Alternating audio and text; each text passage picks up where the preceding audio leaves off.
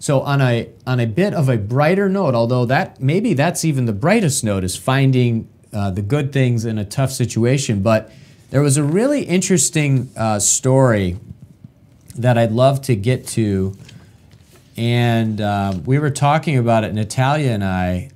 Um, well, actually, we emailed about it a bit, but Elon Musk proposes city to city travel by rocket right here on Earth anywhere on Earth in under an hour, Musk says. So I thought this was quite interesting. First of all, um, and it says SpaceX CEO Elon Musk unveiled revised plans to travel to the moon and Mars at a space industry conference today. But then he went on to uh, talk about uh, Musk showed a demonstration of the idea on stage.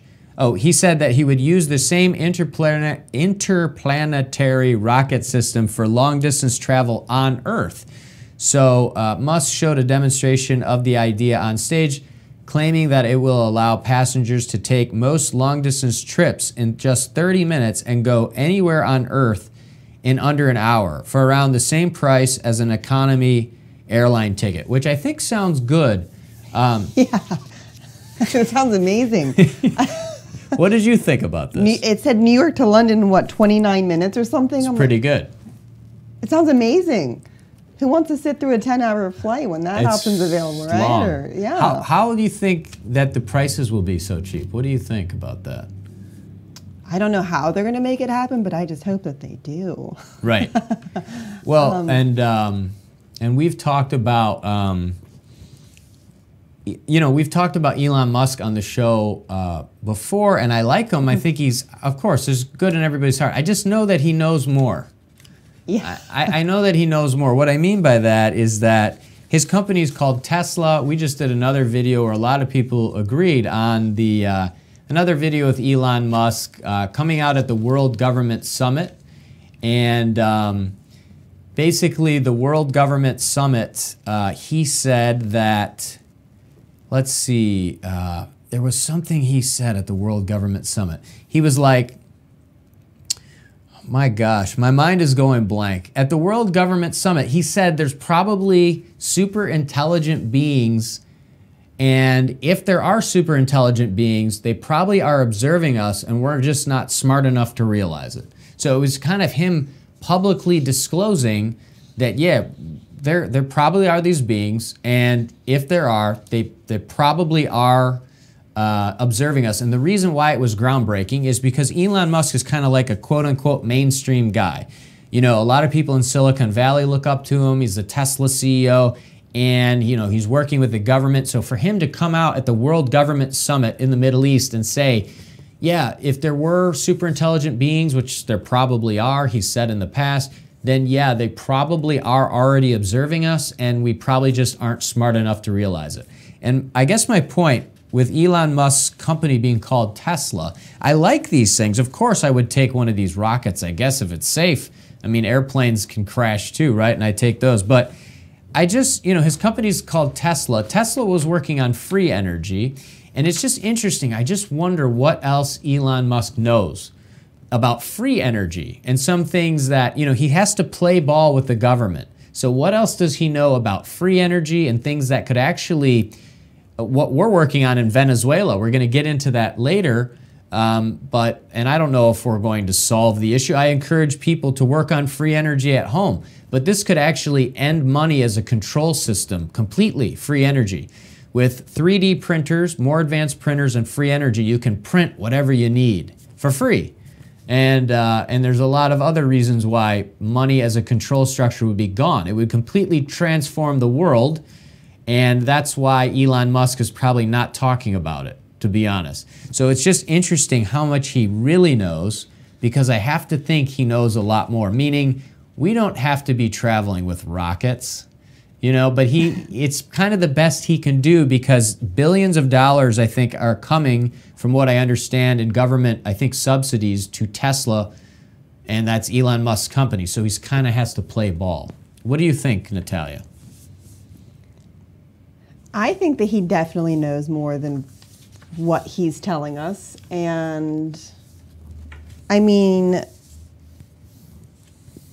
So he's already talking about, you know, taking humans to Mars. Right. You wouldn't be talking about something like that unless you really knew that that was possible. He, I was actually on the SpaceX, which is his company, on the website sure. today, and just even watching the videos of the different rockets they're launching and listening to his goals for these different rockets. What what did you find on that site? Um, so I was reading about the the Falcon 9, um, which was, I believe, one of the first rockets of its kind, and they were actually saying that the SpaceX company actually seems to be more advanced almost than NASA. Sure. So to me, I'm sure. saying in my if you are um, more advanced than NASA, I, I can't imagine the kind of knowledge you might possess Yeah. in terms of other things and what might be being kept from us. Because if you're playing ball with the government, I'm not really sure What you they can want, disclose, Yeah, right, what what, they want us you. to know, what they don't want us to know. But Yeah.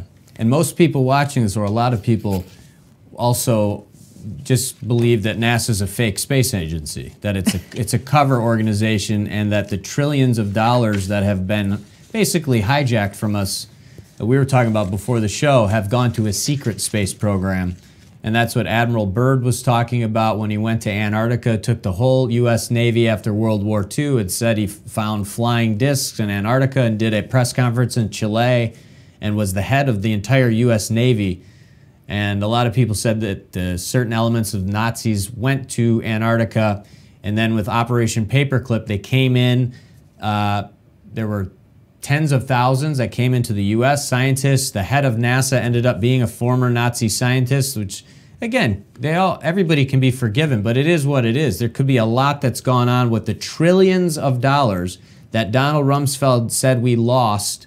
And then there was just another mainstream news article I saw uh, from 2016 that the Pentagon has, it was 2 trillion that Rumsfeld on 9 10 2011 said we lost publicly on 60 Minutes or whatever, but now it's up to 6.5 trillion, which I think essentially could like buy everybody in the US a car, every woman, man, and child in the US, and, you know, essentially could basically end poverty uh, in many respects, and it could actually build nations.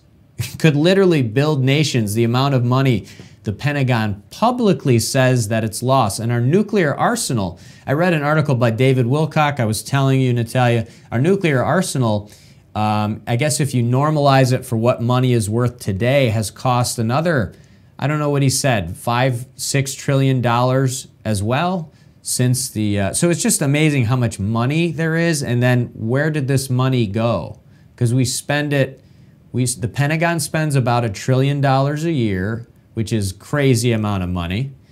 Our screen just went black, so now it's back. All right, the Pentagon sp- the Pentagon spends a tremendous amount of money um, every year, and then we've lost trillions, which could literally build nations. Like if you look at what other nations actually spend, we're going to get into a story uh, about the world's poorest president, and I mean, nations, you know. It's crazy what we're spending and then what we've lost in terms of the trillions of dollars. A lot of people say, Dr. Steven Greer, many other people, that there's a secret space program. So I would be very interested to hear what you guys think. So comment on the video on YouTube at youtube.com forward slash believe loves you and uh, email us believe at believe.com. Let us know if you think there's a secret space program. Do you agree? Do you agree with Corey Goode and David Wilcock? You know, David Wilcock is kind of a researcher. Corey Goode has his a lot of interesting information on Gaia, that network we talked about. And then there's Dr. Steven Greer, who doesn't quite agree with Corey Goode. Or maybe you think NASA is the is as good as it gets and SpaceX. But I think Elon Musk is doing the best he can, but I wonder what he really knows. So I'd like to hear what people have to say because I mean, you and I have our theories on what might be going on, but I'd like to hear. I would love that. Right? I, I'm sure there there are some good theories out there, and I'd like I'd like I can't wait to hear that. I agree. One of our videos got like 600 comments. The other Elon Musk one was pretty active. I think we got a couple thousand views. So if you see this, definitely leave your comment because you're a part of our family. So we thank you so much.